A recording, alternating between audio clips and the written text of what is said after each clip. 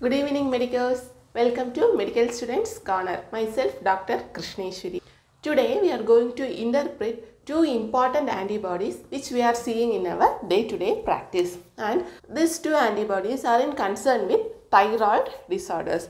And two antibodies are anti-TPO, anti-TPO that is anti-thyroid peroxidase antibody. Or it is also known as anti-microsomal antibody. Anti-microsomal antibody. And this is the first antibody and second is anti-thyroglobulin anti-thyroglobulin antibody. So these are the two antibodies which we are going to interpret today. So before going to the antibodies, we should know something about the synthesis of thyroid hormones uh, which will make easy for the understanding of these antibodies. So we will see in short. Okay. So in synthesis of thyroid hormones, there are four steps. Okay. So first is synthesis of synthesis of thyroglobulin. Synthesis of thyroglobulin. So this thyroglobulin uh, so it consists of about 140 amino acids. 140 amino acids named tyrosine.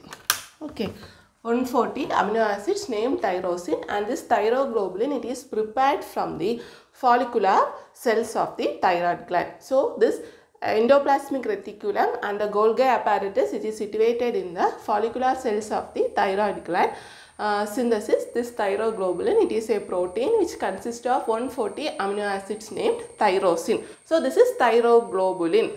Thyroglobulin very very important. Please keep a note on this. Then second step is iodide trapping. In this iodide trapping what happens is this iodide from the blood is trapped inside the thyroid cells. So the basement membrane of these thyroid cells are having more affinity towards this iodide and this iodide from the blood is trapped inside the thyroid cells. This is the second step. And third is oxidation of iodide. Oxidation of iodide. He, in this third steps, what happens is this iodide is it is oxidized to form iodine. Okay, iodide oxidized to form iodine in the presence of very very important concern with the antibody in the presence of peroxidase.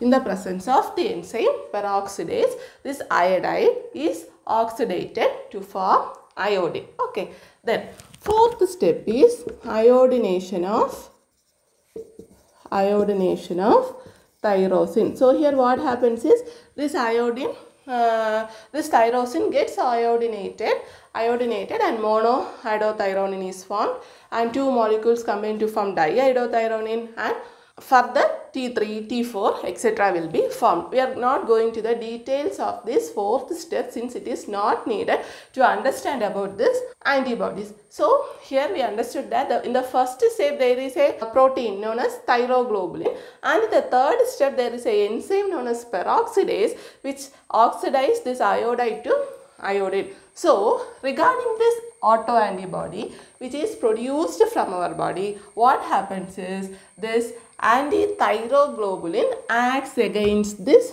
thyroglobulin. Okay, so what happens is this thyroglobulin will not be formed or once the thyroglobulin is formed it is destructed. Mostly this thyroglobulin will not be forming. So what happens? The first step is gone in the formation of thyroid hormone. You understand? Second, regarding this anti thyroid peroxidase antibody or anti-microsomal antibody, what happens is this antibody acts against the peroxidase which is very much needed in the third step. You understand? So what happens? Now the third step will not get complete by the presence of this autoantibody that is anti-TPO or anti-microsomal antibody. So what happens? No formation of thyroid hormones. You understand? So what happens? There will be hypothyroidism. You understand? And This is the character of Hashimoto's thyroiditis. Hashimoto's thyroiditis. So this both this antibody is present in autoimmune hypothyroidism that is Hashimoto's thyroiditis. You understand? So this is the uh, pathology behind this antibody. Why this antibody uh, becomes, why this antibody is causing hypothyroidism. You understand? So now we will see the normal value of this antibodies and in Harrison and Davidson normal values of this antibody is not given.